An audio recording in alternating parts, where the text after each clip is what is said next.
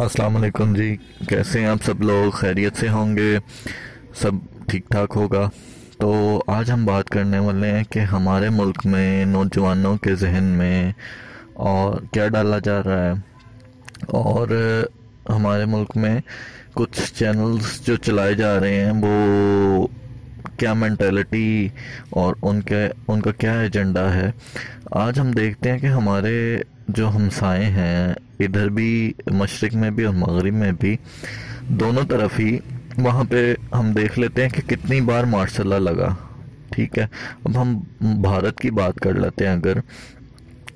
तो भारत में हम सैतालीस से लेके आज 2020 तक कितनी बार मार्शल लगा वहाँ पे? एक बार भी नहीं, क्योंकि उन्होंने अपने सारे जो इदारे थे, उनकी एक हदूद कायम कर दी, उनको इंगेज रखा।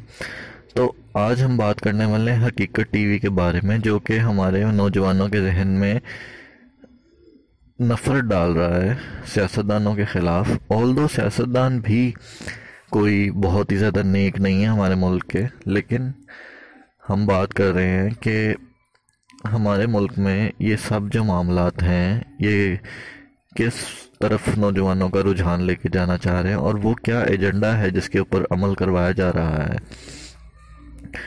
तो हम देखते हैं कि आप, ये कुछ मैं थंबनेल्स भी आपके साथ शेयर करूँगा, जिनके ऊपर आप देखिएगा कि वो, उनकी मैंटेलिटी आप देखिएगा कि वो कह रहे हैं कि अमेरिका में मार्शल लग रहा है। ये अपने चैनल्स पे बता रहे हैं वो, कह रहे हैं कि हम अमेरिका में मार्शल लग जाएगा।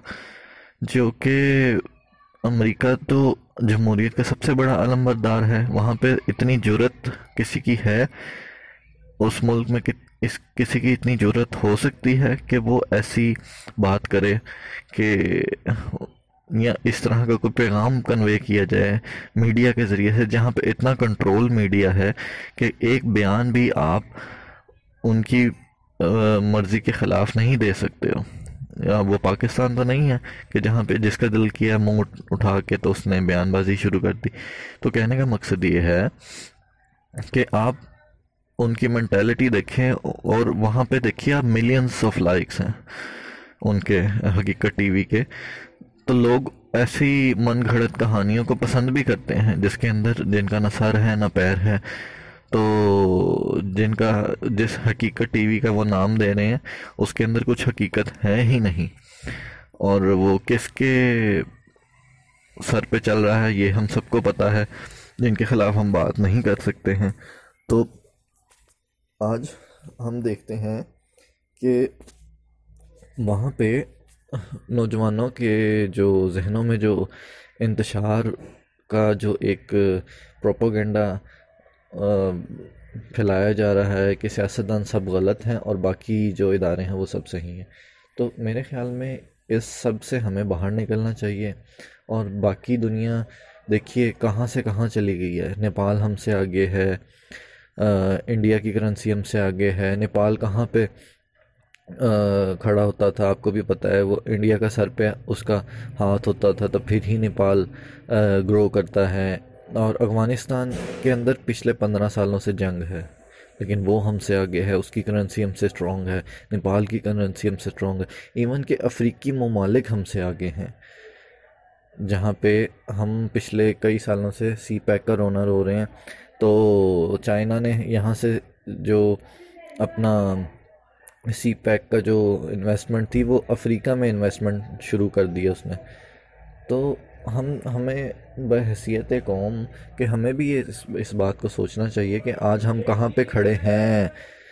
ठीक है तो हमें इस बात को सोचना पड़ेगा हमें इस हकीकत की दुनिया के अंदर आना पड़ेगा और हमें इन हकीकत वालों को पीछे छोड़ना पड़ेगा। अब ये देखिए कि आप वहाँ पे मिलियंस ऑफ़ लाइक्स वो लोग ले रहे हैं, वहाँ पे दे रहे हैं।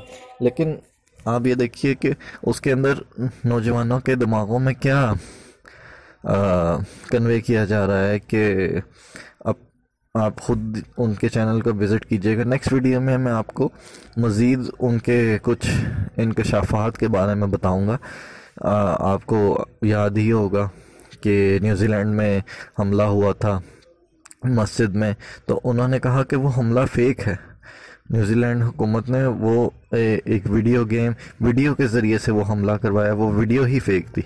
मतलब आप उनकी मैंटेलिटी का लेवल देख लीजिए कि वो कह रहे हैं कि वो फेक है जबकि पूरी दुनिया ने उस मामले को ऊपर मजम्मत जारी की और वो कह रहे हैं कि वो वीडियो ही वो वो वीडियो एडिटेड थी जो कि सारी दुनिया को दिखाई गई। तो इस लेवल के जब लोग मिलियंस ऑफ़ लाइक ले रहे होंगे तो हमारी कौम का क्या हाल होगा? तो हमें भी कुछ सोचना चाहिए कि हम आज कहाँ पे खड़े हैं हमें आगे कैसे बढ़ना होगा? हमारी कौम के बच्चे आज बेरोज़गार हैं उनके पास रोज़गार नहीं है। तो हमारा ये, हम इस हाल को कैसे पहुँचे? तो इस बारे में हम नेक्स्ट वीडियो में बात करेंगे। तो उम्मीद है आपको ये वीडियो पसंद आएगी। इन अगली वीडियो में मुलाकात होती है। अल्लाह हाफिज़ अपना ख्याल रखिएगा।